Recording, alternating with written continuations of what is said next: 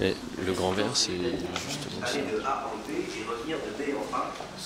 Toute une énormément de schémas techniques sur le bas et euh, le haut, euh, la dématérialisation des choses qui ne ressemblent plus vraiment.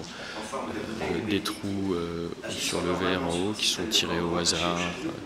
il y, a, beaucoup de choses. Mais en fait, toute sa réflexion sur le grand verre, vu c'était un joueur d'échecs, quelqu'un qui laissait rien au hasard, qui devait en permanence cogiter sur chacune des pièces, enfin des pièces qu'il allait bouger, chaque mouvement doit être pensé. C'est ce qu'il a fait au niveau des ready c'est-à-dire chaque euh, chose était excessivement pensée et il fallait euh, rien laisser au hasard, tout comprendre et puis après rajouter des, petites choses qui sont de l'ordre de l'esthétique comme un titre, comme des tournements, même s'ils sont pas laissés au hasard, mais c'est une sorte d'upgrade par rapport à l'objet.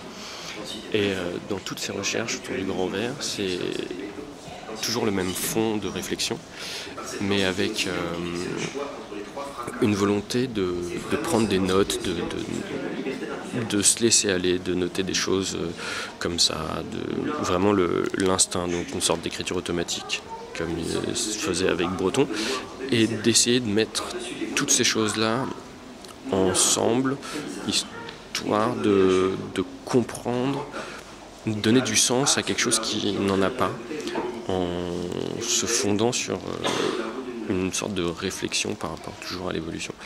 Et c'est clairement diamétralement opposé. Il savait pas ce qu'il faisait, et c'est pour ça qu'il le laisse inachevé, c'est qu'il sait qu'il peut en rajouter euh, perpétuellement. Enfin, il dit euh, c'est définitivement inachevé.